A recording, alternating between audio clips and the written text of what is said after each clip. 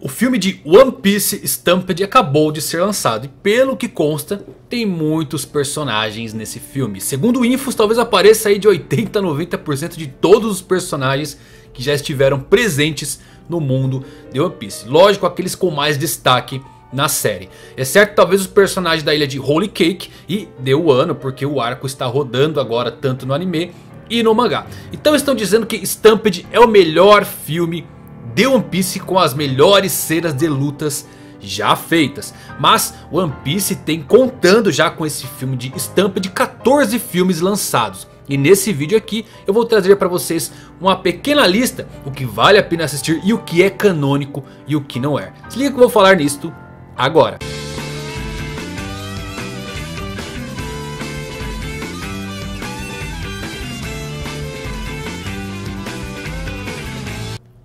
Fala galera, Evandro Fusari com mais um vídeo pra vocês. Hoje trazendo uma pequena lista dos filmes lançados já de One Piece. Será que vale a pena assistir todos? Tem alguma coisa que é canônica que eu posso trazer pra história real de One Piece? Eu posso teorizar em cima desses filmes?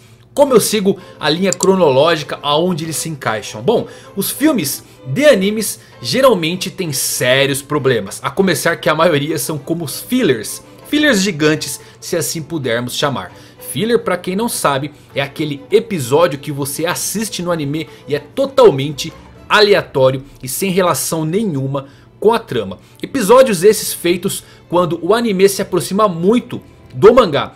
E todas as grandes séries, principalmente no shonen, as séries feitas para os adolescentes e público mais jovem utilizam desse recurso. Alguns até tiveram o anime inteiro estragado por conta do excesso de fillers. Um bom exemplo é o anime The Bleach, que merecia um remake à altura da obra. Então os filmes vêm apenas para gerar uma renda extra em torno do nome de determinada obra. E sempre surge dúvidas se os poderes, personagens e ambientações podem ser levadas em conta. Por exemplo, em teorias ou mesmo em discussões. O que é canônico e o que não é. Quem é mais antigo aí certamente deve se lembrar da boa e velha discussão em Dragon Ball. Broly, ele era canônico ou não na obra? Ele só havia aparecido nos filmes antigos. Bom, se levar ao pé da letra, somente o que apareceu no mangá é canônico. Mas o autor pode criar extras para esses filmes e tornar algumas coisas ligadas diretamente à série principal. Com isso em mente, vamos falar um pouquinho agora dos filmes de One Piece. O primeiro filme veio nos anos 2000 com o nome One Piece, o filme. Inicialmente esses filmes eram lançados anualmente como parte dos eventos de animes da primavera de anime da Toei. Após o terceiro filme que foi lançado em 2002, a Toei interrompeu essa feira de lançamentos durante a primavera. E todos os filmes subsequentes foram produzidos com recursos independentes em outras produtoras. Cronologicamente os dois primeiros filmes, One Piece, o filme e a aventura da Ilha do Relógio passam ali respectivamente sendo o primeiro filme depois do arco da Vila Sirup, a ilha onde encontram o Sop. E o filme 2 está rodando ali mais ou menos na altura em que o anime chega em Logtown. Acontecem basicamente ali antes do episódio 80 no anime. No filme 3, o reino de Chopper na Ilha dos Animais Estranhos é logo após o episódio 92. Quarto filme, Aventura Sem Saída, acontece depois do episódio 152. O filme 5, A Espada Sagrada Amaldiçoada, vem depois do episódio 195. Aliás, tanto o filme 4 e 5 acontece antes do arco de Jaya e de Skypiea. Temos o sexto filme que é O Barão Omatsuri e a Ilha Secreta, que vem depois do episódio 224. Sétimo filme, O Soldado Mecânico Gigante do Castelo de Karakur, vem depois do episódio 263. Filmes 6 e 7 acontecem antes The Water 7. Filme 8, o episódio de Alabasta, a Princesa do Deserto e os Piratas. Vem depois do episódio 325. E o nono filme, que é um filme de Chopper, acontece após o episódio 381. Respectivamente, filmes 8 e 9 seriam remix de arcos de histórias. O que não cai muito bem esses dois episódios. Porque eles pegaram fragmentos desses arcos e fizeram um filme. Então chegamos naquele que é um dos melhores filmes de One Piece.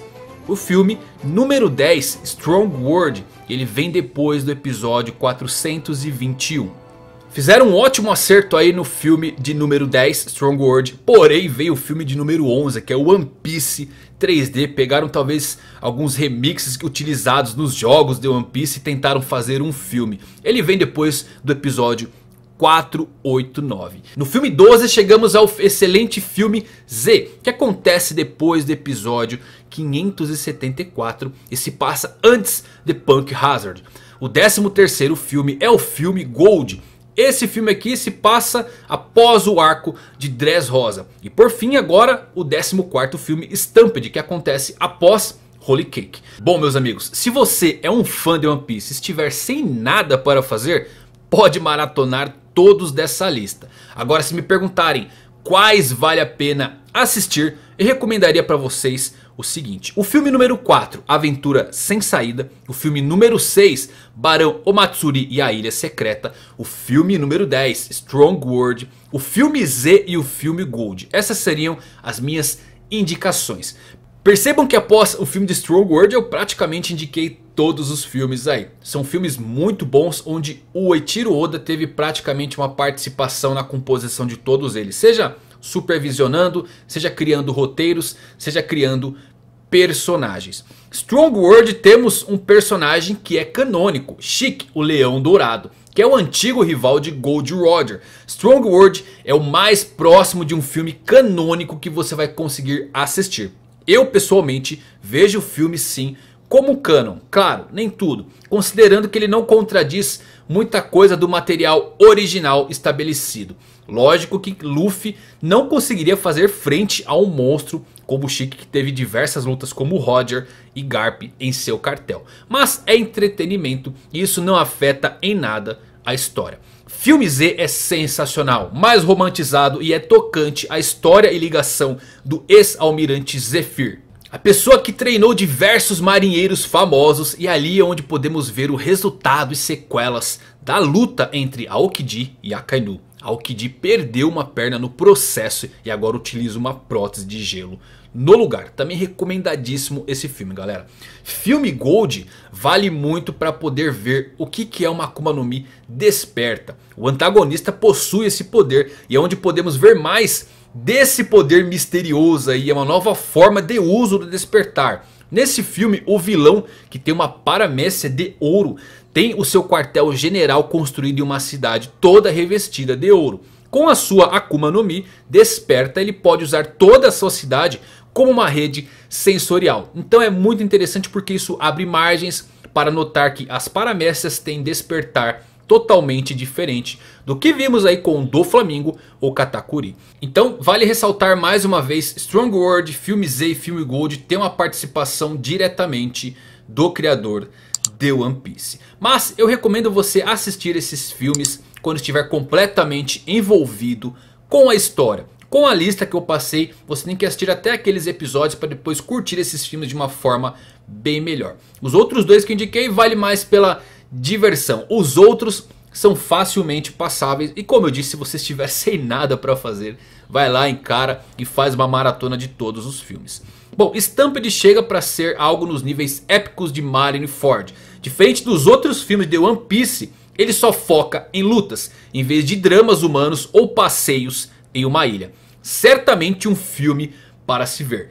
Se pudermos tirar realmente o que é canônico dessas histórias, talvez sejam os seus antagonistas. Chic, o Leão Dourado, o ex-almirante Z e Douglas Bullet são personagens canônicos. Mas as ambientações dos filmes e as consequências não são. Como por exemplo agora em Stampede, onde temos toda a tripulação reunida e o filme se passa após Holy Cake. Já sabemos que a tripulação está praticamente dividido, uma parte em Wano e outra parte navegando para esse encontro. Mas ali eles estavam todos juntos e acabaram indo parar no festival pirata. Mas saibam que sim, os personagens, os antagonistas são considerados diretamente na história. Então certamente Stampede vai ser um dos melhores filmes sim de One Piece basicamente por ter lutas e mais lutas de todos os personagens poderosos. Por exemplo, teremos Zoro versus Fugitora, teremos Supernova completo lutando aí contra Douglas Bullet, teremos Buster Call, teremos muitas coisas